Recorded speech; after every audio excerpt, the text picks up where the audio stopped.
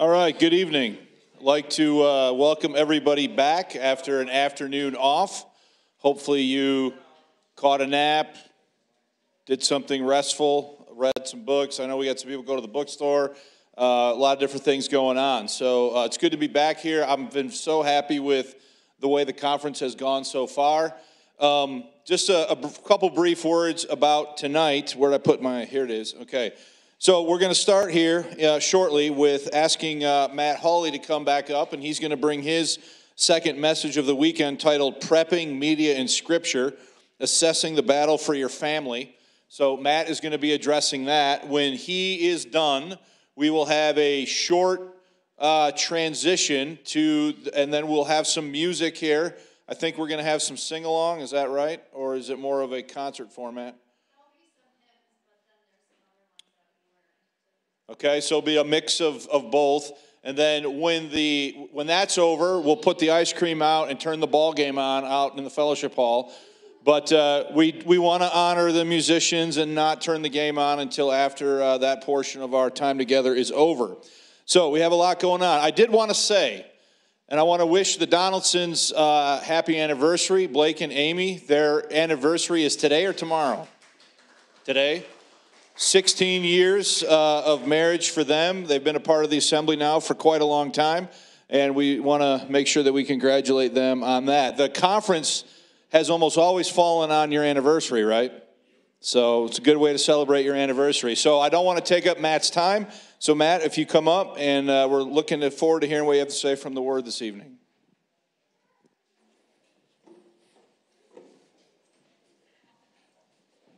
Well, good evening. Thank you again for the opportunity to, to come and teach. It's always a privilege when you get to stand before people and teach God's word. So, hopefully, tonight, as, as we address these issues, um, we'll learn something from God's word. All right. So, let me uh, read to you what I'm supposed to go over. All right. So, the title of my message is Prepping Media and Scripture Assessing the Battle for Your Family. And four, four things that I'm supposed to go over, uh, that uh, we will go over, is is it scriptural for believers to be preppers? How do we balance being prepared with being obsessed? Discuss how overindulgence in news and social media impacts one's personal thinking and family dynamics. How can we protect our families from evil without unnecessarily scaring them or causing them undue anxiety?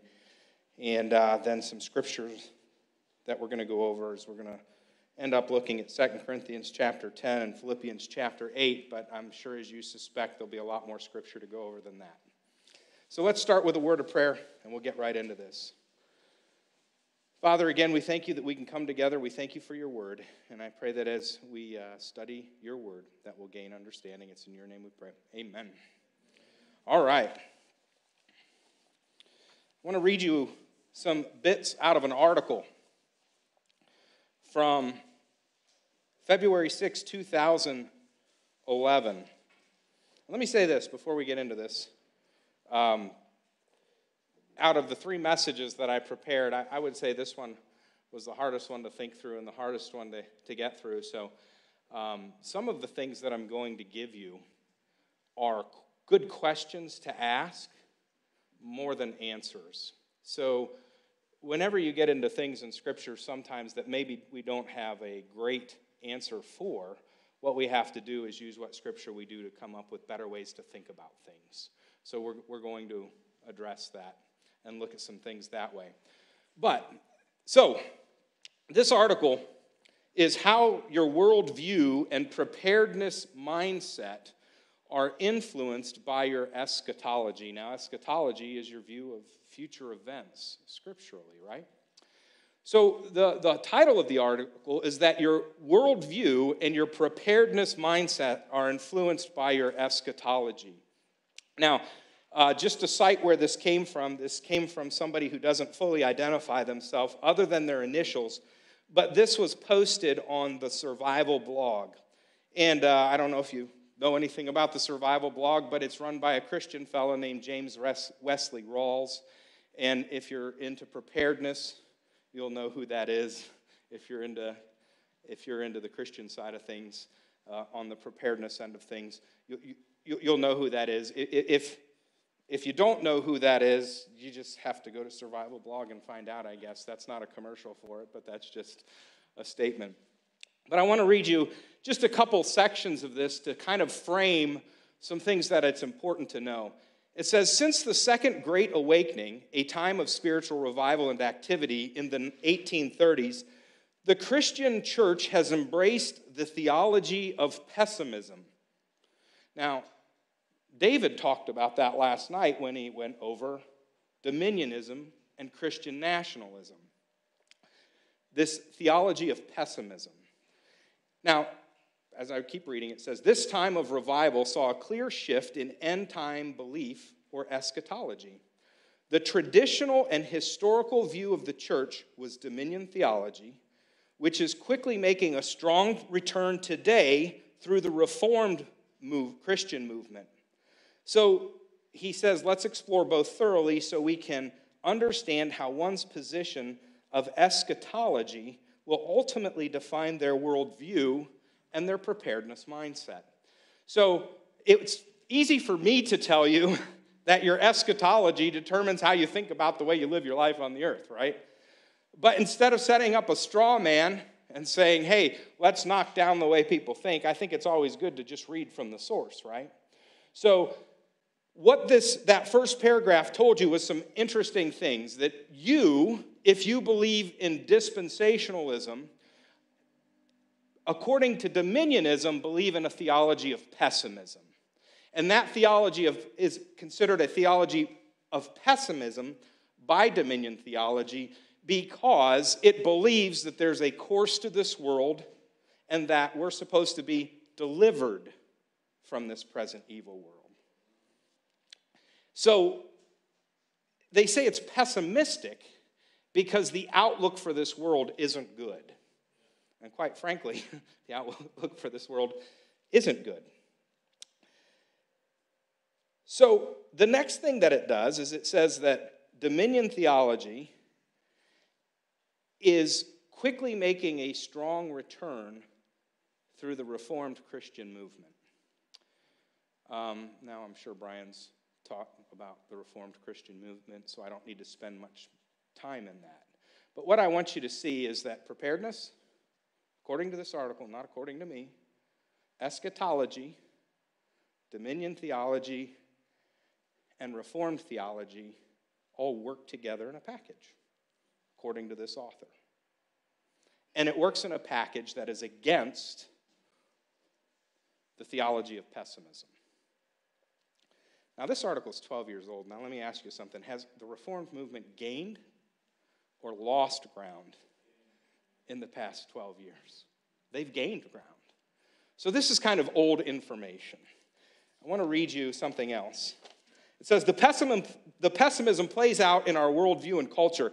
This is the exact reason the Christian church today is vastly impotent and useless in affecting our culture for Christ and has no cause for impacting future generations. Why would someone be interested in two or three generational plan of attack when they continually are looking for the, to the sky for the exit?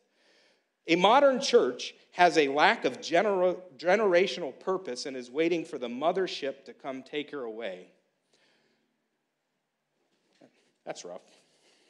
I don't think it's a mothership. I'd say it's Jesus Christ coming in the clouds. One more line. The Christian church made a left turn in the 1830s, and it's time to get back on track. So the challenge is to read these, this referring to a list of books that he gave you, that he said have yet to be answered. By the way, when somebody says something has yet to be answered, you know that's a disingenuous statement because there's nothing out there theologically that hasn't been answered in some way, shape, or form, correct? Just hasn't been answered to the author's standard. So the challenge is to read these, these books that he references, and not be convinced of the, the falsity of dispensational premillennialism. All right? So I bring that to your attention for this reason. I agree with the author. By the way, the, the, the ultimate point of the article I don't think is bad.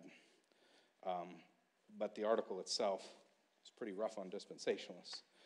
But the reason I bring that up is because even the other side of the aisle sees that eschatology affects how you, how you behave today, right? How you look at what's going to happen in the future determines how you behave today. And I think that's an important thing to understand, even if the other side brings it up and they're advocating for something else. When I say other side, I mean dominion theology. But that does bring us to the point and to the, one of the questions that I'm supposed to answer is it scriptural for believers to be preppers? How do we balance being prepared with being obsessed? So let's talk about that for a few minutes. And, and while I talk about it, some of this is going to be my pontification as well. So you are more than welcome to disregard anything that doesn't come out of the scripture.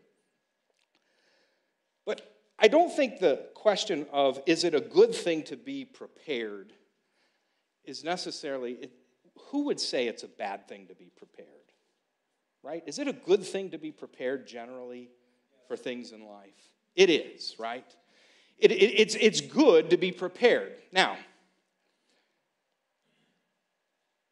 when you get to the question of prepping itself, if you say, I want to answer whether somebody should be a prepper or not, you're really asking a question of degrees because we all at, we, we all believe that preparedness is a good thing, correct?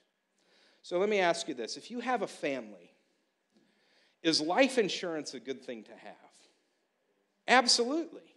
Because something tragic could happen and your family needs to be taken care of. So it's important in that situation to be prepared. Is it important to save money so that you have money when you need money. It is. So when I think of prepping in general, and by the way, if you haven't noticed, I, I might lean that way a little bit in the way I think about these things. I think prepping in general is just really a question of insurance. So then it then becomes a question of how much do I need?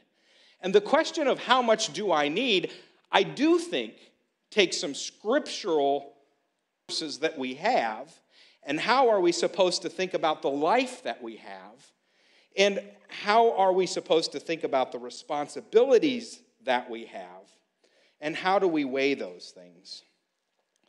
So let's attempt to do that a little bit, right? It's important to realize. I'm, I'm going to just throw out some personal experience here. Last year, Christmas time, bad snowstorm, Dayton, Ohio. April and I decide to go get groceries. There isn't a single thing in the store. Okay? There's not a single thing in the grocery store. Matter of fact, the storm was bad enough that the doors were frozen open. Right? And I remember driving there, and we got there, and, and we didn't we weren't hungry like we oh we need groceries and there's no bologna around it wasn't anything serious like that but what it showed is that one instance of panic, and that store was empty. Now, I don't know about you, but having 24 to 48 hours of food in the grocery store itself is a little kind of a scary thought. Because on the way there, you know what I didn't see? I didn't see a place to get food. Right? Is that something that's legitimate to consider? That, hey, maybe I should have some things in my house so that if that situation happens again, I don't have to worry about it. I can weather that. Of course, that's a reasonable thing to think. More personal experience. I'm in a third world country.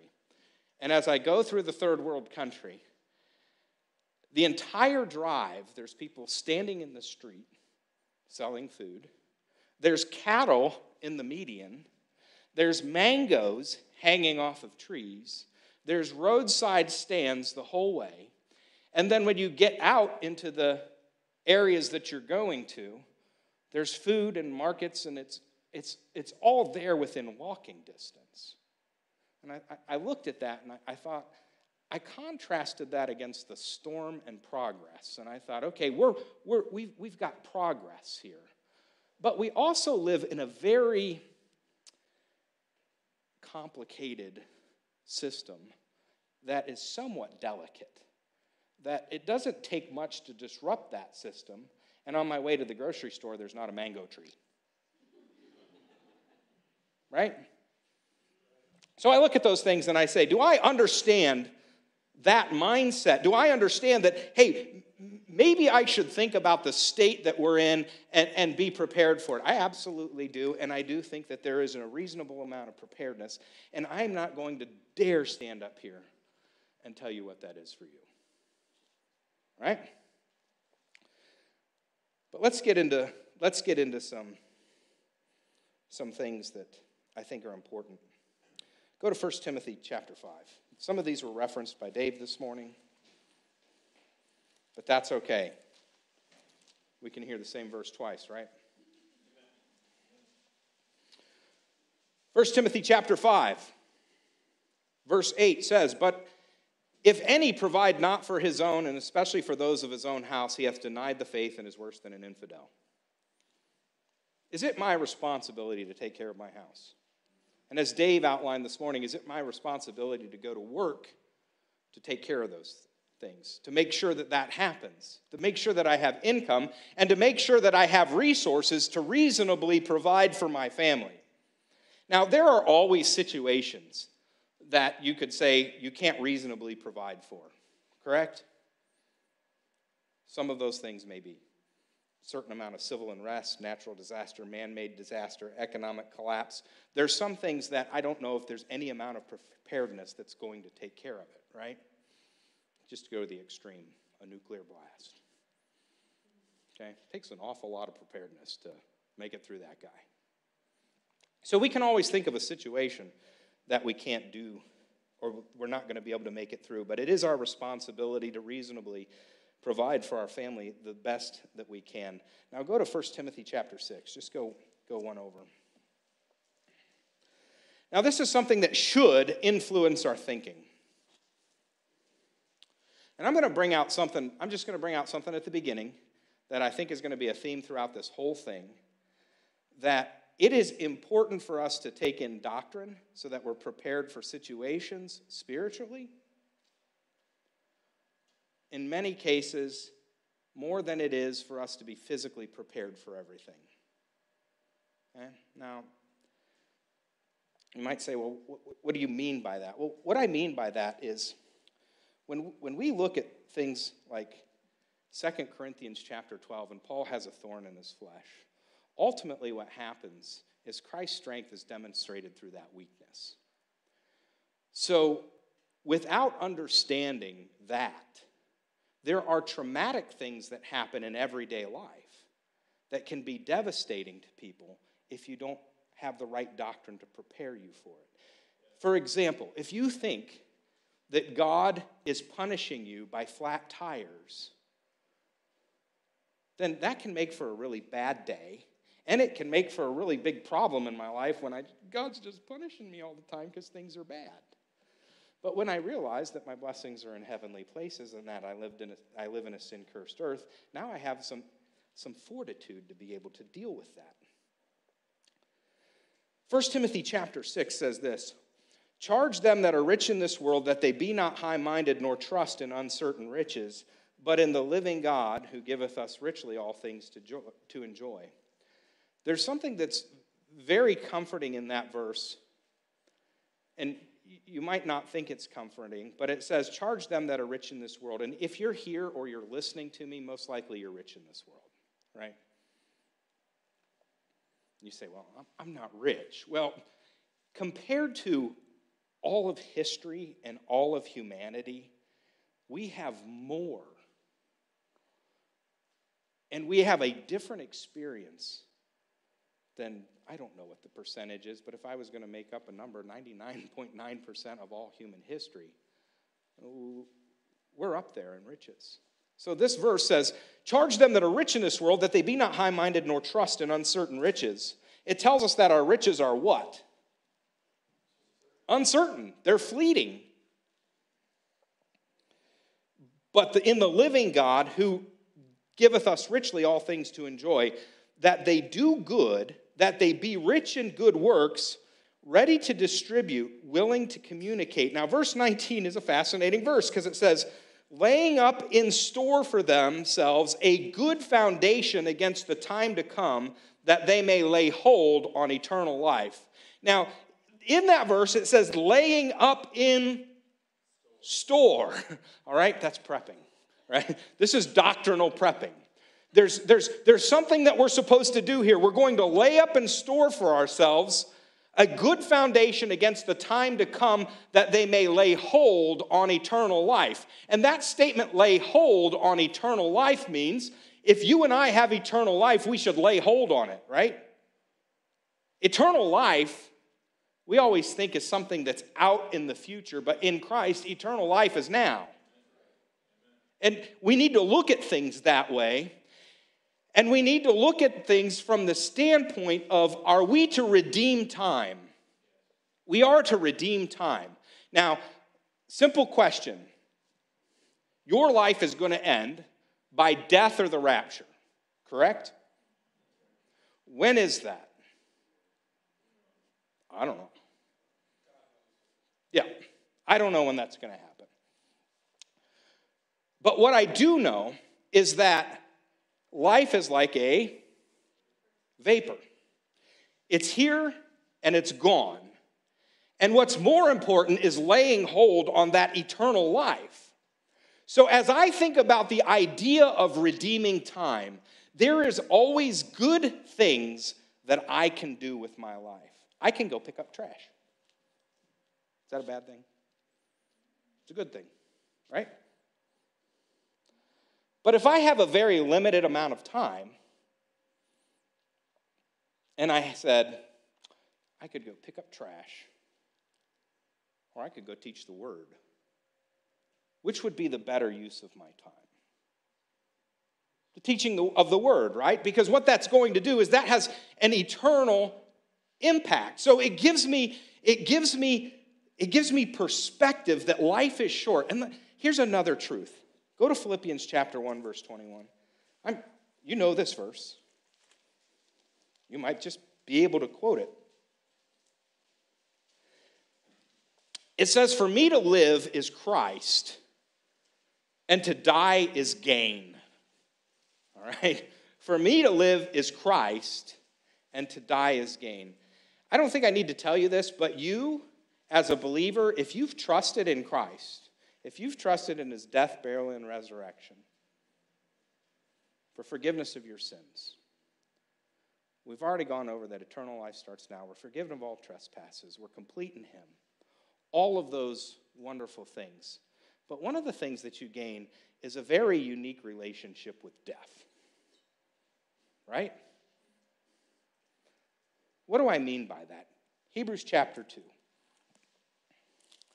Hebrews chapter 2.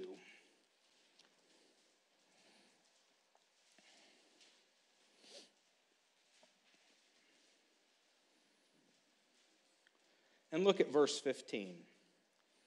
It says, And deliver them who through fear of death were all their lifetime subject to bondage. What is that bondage? The fear of death. The fear of death is a, is, a, is, a, is a bondage according to the scriptures, right? Now, in all of human history, the dispensation of grace, I would say we have the most clear, sure understanding of how salvation works because we have the completed scripture. So we can look at the scripture, we can gain so much understanding just by sitting there and looking and reading the word about salvation. And that gives us a very unique perspective on death to where the Apostle Paul can says, For me to live is Christ, and to die is gain. What does that tell you? It tells you that his efforts of self preservation have some sort of limit because to die is gain. And that's a funny way to look at life to the world, right? It is. It's a funny way to look at life to the world, but man, praise the Lord that we have a different relationship when we look, with, look at death. We can look at death and say, well, death is a bad thing. But God took on the form of man for what reason? So that he could suffer death to defeat death. That view of me, that, that view to me, it, it, it makes me, and this might be a controversial thing to say, it makes me understand that the preservation of my life has limits to some point. Because for me to live as Christ and to die as gain, I don't have to fear death in the way that Hebrews chapter 2 and that most of humanity has. Now, I need to get into media a little bit. And I think all of these things tie together. So, how do, how do we discuss the overindulgence in news and social media and the impacts of one's personal thinking? And by the way, none of these subjects are going to be separated, meaning as we move forward in the next 34 minutes, as we move forward, all of these subjects tie together into one ball. But go to Acts chapter 17. I want to give you two things to think about. Acts chapter 17.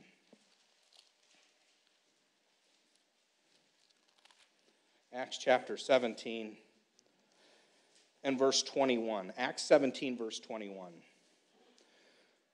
For all the Athenians and the strangers which were there spent their time in nothing else but either to tell or to hear something new. Ooh, well, that's a great description of social media, right? They spent their time doing nothing else but either to tell or hear something new. If I had to count how many times I checked my phone to find out something new in a day, I would be shocked. And I don't want the answer, so I'm not going to count. But that is a perfect example of this Athenian mentality that there's something new that I need to know. There's something new that I, have got, I've got to have it. I've got to understand. Now go to 1 Timothy chapter 6 because, or 1 Timothy chapter 4, and I'm going to actually just speed up talking a little bit so I can get through everything. But 1 Timothy chapter 4 and verse 6, the Apostle Paul, talking to Tim- Timothy, says, If thou put the brethren in remembrance of these things, thou shalt be a good minister of Jesus Christ, nourished up in the words of faith and of good doctrine whereunto thou hast attained. What is a good minister going to do? According to that verse, give somebody something new, right? No, what are they going to do? They're going to put people in, in, in remembrance of things. Then he says, it's nourished up in the words of faith, good doctrine to refuse profane and old wives' tales. And then he tells him in verse 13, till I come, give attendance to reading, exhortation, and doctrine. And then he says in verse 15, meditate upon these things, give thyself halfway to them, wholly to them, that thy, thy profiting might appear to all. Take heed unto thyself and to the doctrine, continue in them, for in doing this thou shalt both save thyself and them that hear thee. Now, verse 8 has something interesting too. It says, For bodily exercise profit, profiteth little, little, but godliness is profitable unto all things, having the promise of the life that now is and of that which is to come. That's a great verse for thinking about redeeming the time. Because what it tells you is that godliness is profitable when? Now. And in the life to come. So I get a two for one deal using their old language, their own language. If it's if my life is simply about bullets, beans, and band-aids, in case I run into bad problems, that's only good for this life. But what is godliness good for? This life and the the life to come. So it tells me some things about that. And the, the other opposite of that is this remembrance, give attendance to. When he says give attendance to, what does that mean? Show up to spend time reading, show up to spend time in doctrine, and show up to spend time. Sorry, I lost my place. Take heed, or give attendance to reading, exhortation, and to doctrine. And verse 16, he says, after telling him to meditate, and that's not transcendental meditation, it's the opposite. Transcendental meditation tells you to empty your mind, the scriptures tell you to fill it. with good things. Take heed unto thyself and to the doctrine, and continue in them. For in doing this, thou shalt both save thyself and them that hear thee. Well, what are they, what's he going to save himself from, and what is he going to save them that hear thee from? Well, that's verse 1. The Spirit speaketh expressly that in the latter times some shall depart from the faith, giving heed to seducing spirits and the doctrines of devils. So he says, if you don't want to fall into this trap, what you really got to do is not look for new things, but you've got to put yourself in remembrance through the reading, the doctrine, and the exhortation and the meditation. And you've got to spend things on things you most likely already know so that you stay away from these things. It's a different thinking. Oh, I got to have something new. No, I need, I need to renew my mind. And I renew my mind through something that's old, old information, and likely things that I already knew. You ever read this? You ever read the Bible and you're like, oh, I forgot that. And I can tell in my life I forgot that because of the problems that have arisen from forgetting it. That's how the scriptures work in us. So, 2 Corinthians chapter 10. This is one of the verses I'm supposed to go over. 2 Corinthians chapter 10. Fascinating fascinating verse. 2 Corinthians 10, verse 5 says, Casting down imaginations and every high thing that exalteth itself against the knowledge of God, and bringing into captivity every thought to the obedience of Christ, and having in a readiness to revenge all disobedience when your obedience is fulfilled. So he says there that in verse 4, the weapons of our warfare aren't carnal but they're mighty through God to the pulling down of strongholds. Ephesians 6 tells you the same thing. But then it says, casting down imaginations and every high thing that exalteth itself against the knowledge of God. You know what that tells you? That, that much, if not all, of spiritual warfare is fought where? Here, right? It's, it's fought here by putting the word in there. And here's something true and this is, this is a question that gets back to the question of prepping as well. And to what degree am I going to participate in those things? That's something you answer, not me. But when I think about when I think about spiritual warfare, Satan wants you out of the battle. Right?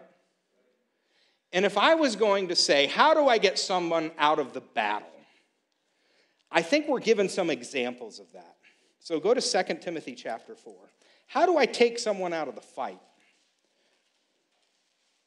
So if I can figure out how Satan would take somebody out of the fight, then I can figure out how I should stay in the fight. Pretty simple, right? So it's 2 Timothy chapter 4, verse 10. And you got to, poor Demas, immortalized in scripture here. For Demas hath forsaken me, having loved this present world, and is departed unto Thessalonica, Crescens to Galatia, and Titus to, unto Dalmatia. So, uh, how did Demas get taken out of the fight? He loved this present world, right? His priority was to preserve whatever he had in this present world and forgot about the life which is to come. It's the opposite of laying hold on eternal life. And all of a sudden, he's out of the fight. So then the next question is Satan does want us out of the battle. But the next question is go to 2 Timothy. Are we in 2 Timothy 4? We are. Verse 6. 2 Timothy chapter 4 verse 6 For now for I am now ready to be offered and the time of my departure is at hand. So what does Paul mean by that? he's going to die. It's, it's, it's about done. And he says in verse 7 I have fought a good fight, I have finished my course, I have kept the faith. Henceforth there is laid up for me a crown of righteousness, which the Lord, the righteous judge, shall give me at that day, and not to me only, but unto all them also that love his appearing.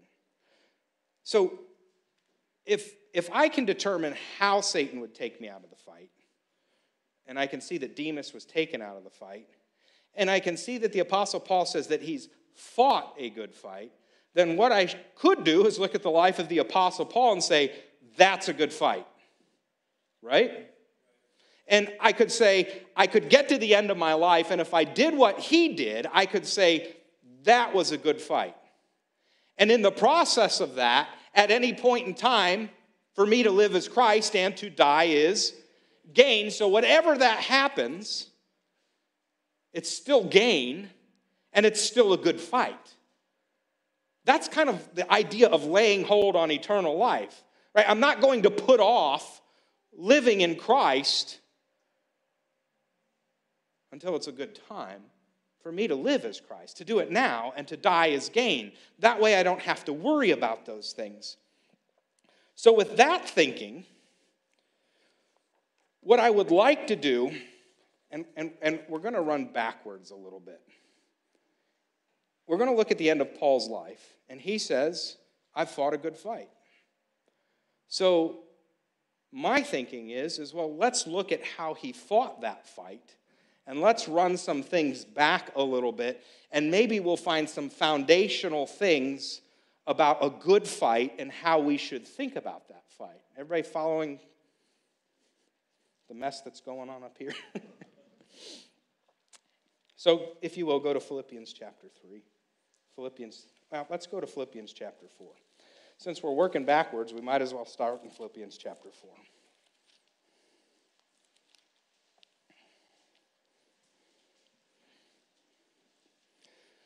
Philippians chapter 4 verse 4 says, Rejoice in the Lord always, and again I say rejoice.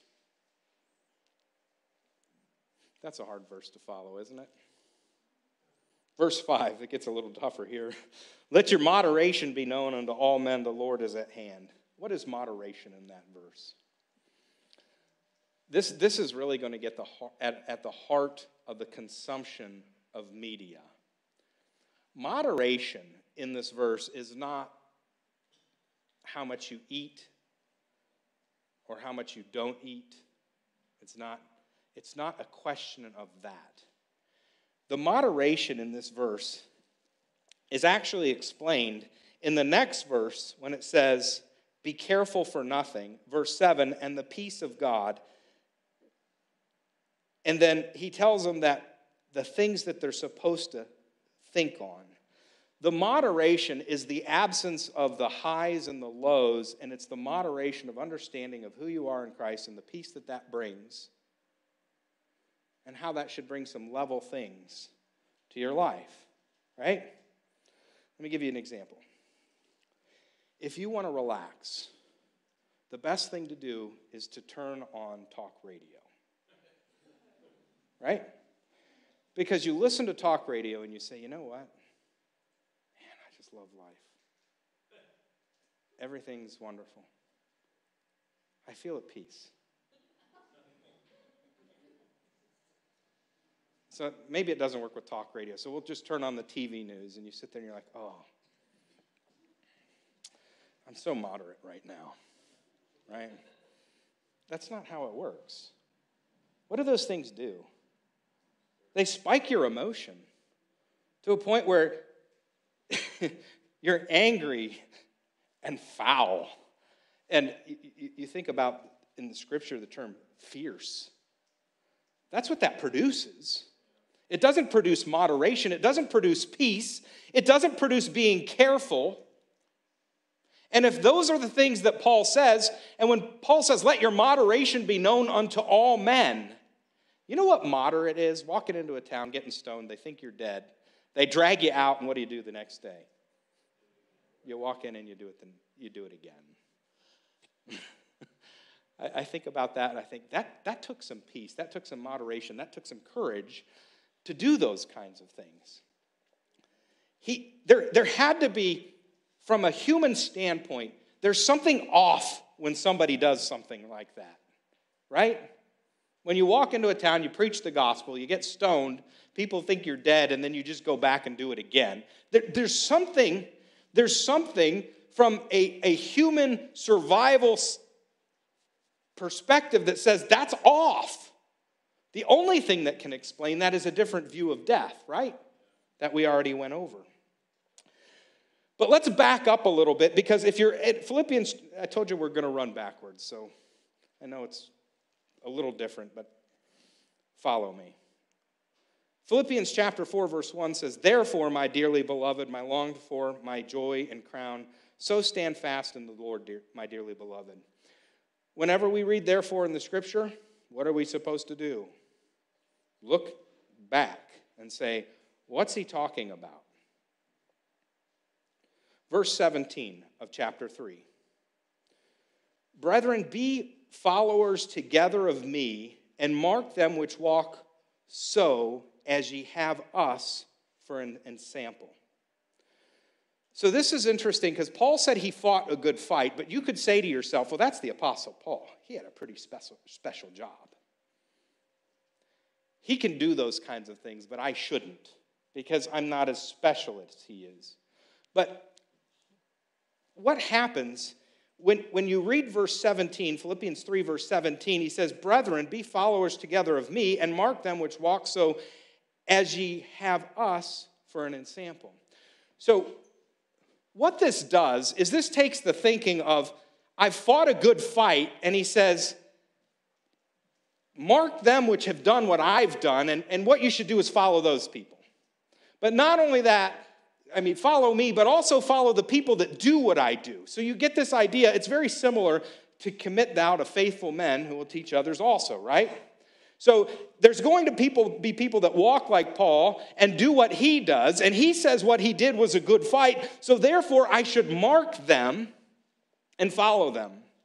Now, what he also does for us is he tells us in verse 18, For many walk, of whom I have told you often, and now tell you, even weeping, that they are the enemies of the cross of Christ, whose end is destruction, whose God is their belly, and whose glory is their shame.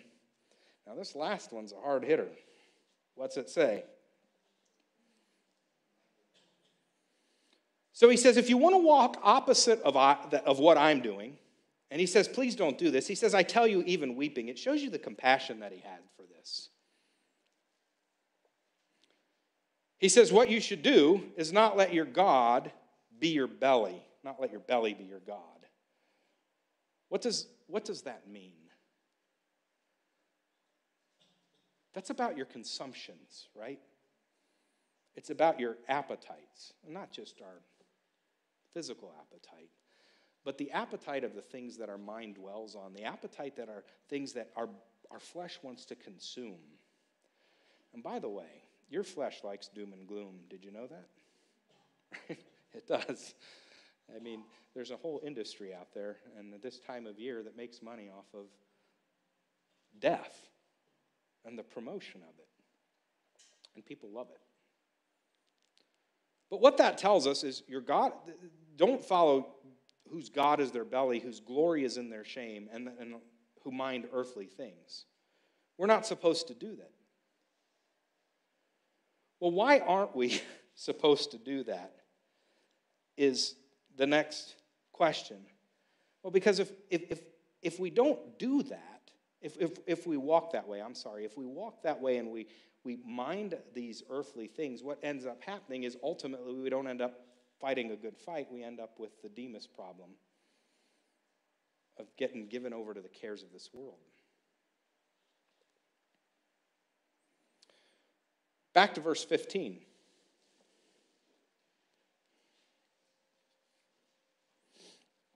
Verse 15 of chapter 3 Let us therefore, as many as be perfect, be thus minded, and if in anything ye be otherwise minded, God shall reveal even this unto you. So, if we're going to be perfect, which is talking about being mature, there's a specific mind that we need to have. And that's verse 14, which is I press toward the mark for the prize of the high calling of God in Christ Jesus. And he goes through and tells us what that is in verses 11 through 13.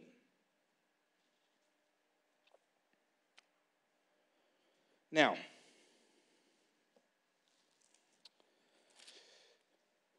want you to back up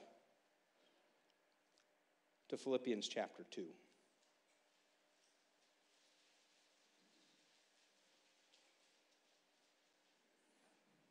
Because in Philippians chapter 2, as we've followed Paul and we followed his thinking, we come backwards to Philippians chapter 2, verse 16, where it says, Holding forth the word of life, that I may rejoice in the day of Christ, that I have not run in vain, neither labored in vain.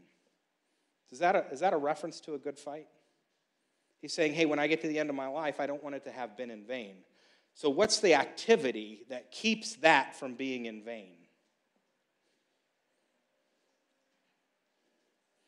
The holding forth the word of life, right? The holding forth the word of life. Now, how does this, how does this start to fit in to what we're thinking about with the consumption of media and the battle for our family and even, even to prepping to some degree, when we look at these things, what it tells us is that if life is finite and I want it to be a good fight, then I have to take that finite time and I have to prioritize it. And if I'm going to prioritize that time, as a believer who understands the word, rightly divided, and understands a clear gospel, you're valuable to the ministry.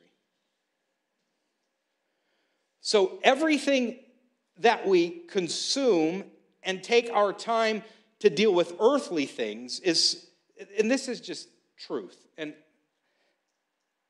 it's, it's hard truth, I think, for me to swallow and for you to swallow that everything that we participate in on an earthly level is in some way competing with the things that we should be participating in for an eternal level. Now, there's a way that you reconcile that I have to go to work every day, right? And um, some days you work, you work a lot, and you work hard, and you're trying to provide for your family. And you say, well, maybe that's, we'll use other people's words. Are you in full time ministry? Well, yes, I am in full time ministry, and so are you, right? because the scripture teaches us that, as Dave taught us, that working for an employer does not mean that we're outside of ministry. But what we can do is bring some eternal value to that. Well, how do we do that? Well, by holding forth the word of life. That should be, that should be the primary focus. Verse 15, back to Philippians chapter 2. Verse 15, that ye may be blameless and harmless, the sons of God without rebuke, in the midst of a crooked and perverse nation, among whom ye shine as lights in the world. So, what are we supposed to be? Blameless and harmless. And what are we supposed to do? Shine as lights in the world. So, let's back it up to verse 14. Might as well. And this is something that talk radio produces. Do all things without murmurings and disputings, right? And, and a little bit of sarcasm there. But does, does the consumption of media teach us to do all things without murmurings, dispute, or disputings? Or does it just teach us to be angry? does it produce moderation? Is it, is it, and I'll read it to you, is it, are, are those things that I, I can participate in and in good conscience say, well, this is honest and just and pure and lovely. That's a harder one to get over. Uh, good report, virtue, and praise. I think I'll think on this. Is that what, where, where do we even find those things? We find those things in the scripture, correct? I want to back it up a little further to uh, Philippians chapter 2, verse 1. If there be therefore any consolation in Christ, if any comfort of love, if any fellowship of the Spirit, if any bowels and mercies, fulfill ye my joy that ye be like minded, having the same love, being of one accord and of one mind. Let nothing be done through strife or vainglory, but in lowliness of mind, each esteem other better than themselves. Look not every man on his own things, but every man on the, also on the things of others. Let this mind be in you, which was also in Christ Jesus, who being in the form of God thought it not robbery to be equal with God, but made himself of no reputation, and took upon him the form of a servant, and was made in the likeness of men. And being found in fashion as a man, he humbled himself and became obedient to death, even the death of the cross. So, as, as Paul goes through this thinking where he says, hey, I, I, want you to rejoice in the Lord. I want you to be moderate. I don't want you to be careful for things. I want you to have the peace that passeth all understanding. Those verses are actually the result of chapter one all the way to there, where he's actually given you an outline of his thinking of this is how I think about things. And at the end of chapter three, he says, find people that think about things this way and follow them. And in doing so, you, you actually get to see if you will, his entire philosophy and mission for life. And chapter 2 is key to this because he says, Let nothing be done through strife or vain glory, glory but in lowliness of mind, let each esteem other better than themselves. So, how does he? He looks at other people and what does he do? He esteems them better than themselves. If you will, turn to Philippians chapter 4 again.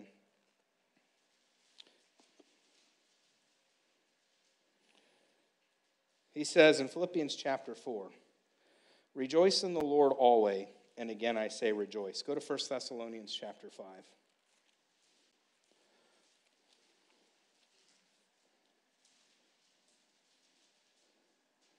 Verse 16. He says, Rejoice evermore. And by the way, in verse 17, he says, Pray without ceasing.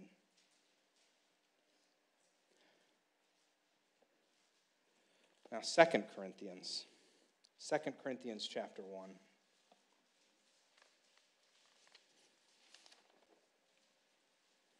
Second Corinthians chapter 1.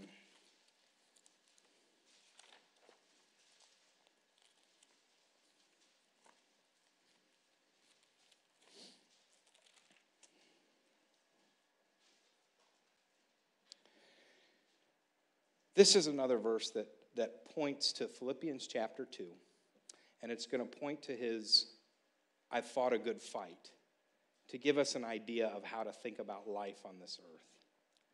And I'm going to start to wrap it up with this. But in verse 12, he says, For our rejoicing is this. So we're told to rejoice. We're told to rejoice in the Lord always. We're told to rejoice evermore. And Paul's going to tell you very simply what his rejoicing is. He says, For our rejoicing is this the testimony of our conscience that in simplicity and godly sincerity, not with fleshly wisdom, but by the grace of God, we had our conversation in the world. And what's this conversation? Is that just the talk that's coming out of his mouth? No, that's his manner of life. We've had our conversation in the world, and then the last one is the real kicker. And more abundantly to you-ward. That's the Philippians chapter 2 to esteem others more highly than we esteem ourselves. So, what am I getting at here? It is, it's in the best interest for you and your family to consume less media. Is that a controversial statement? Shouldn't be. But what does that need to be replaced with? It needs to re- be replaced with the holding forth the word of life. But it's not just as simple as holding forth the word of life, because the holding forth the word of life indicates that you're doing it for a reason. You're not holding forth the word of life just so you can walk in circles and stare at it, right? You're holding forth the word of life because your conversation in this world should not be in fleshly wisdom, but simplicity and godly sincerity, and more abundantly, you-ward. It should be about the ministry to others. It shouldn't be about just the selfishness of me and preserving me because that's not the mind that was in Christ. What did he do? He laid down his life for you and I. What do the scriptures tell you and I to do in Romans chapter 12? Verse 1. To offer our bodies as what? A living sacrifice. Now, as we do that, guess what we're doing? We're fighting a good fight. We're going to be able to get to the end of the life, our end of our life and say, you know what? I fought a good fight. Now, how does that, how does that, why do I tie that into prepping? It's obvious of why you tie that into media, but why do I tie it into prepping?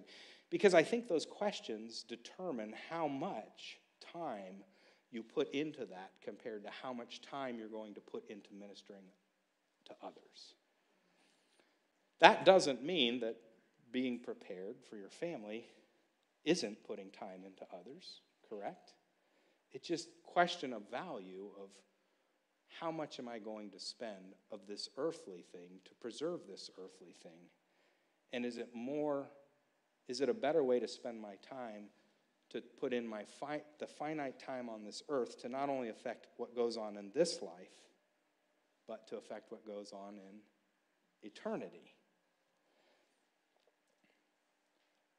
Well, if this life is short, then it makes sense to put more effort into that which is going to work out for eternity. We can look at the life of Paul and you can actually look at it and say, hey, this is, this is, this is what a good fight looks like.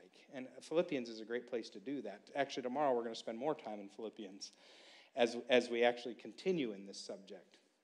But I hope that, that, that at least stimulates your thinking to say, how should I look at some of these things? How should I look at the consumption of media? How should I look at a, a preparedness mindset? And um, what else should I be looking at? What am I missing? Those are all questions we need to ask ourselves. Let's end with a word of prayer.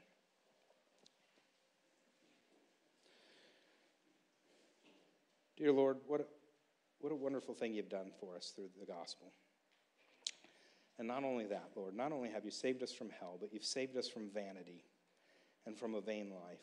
And I pray that we take what little life that we have and we do what we can for eternity with it. And we thank you for giving us the privilege to even do that. It's in your name we pray. Amen.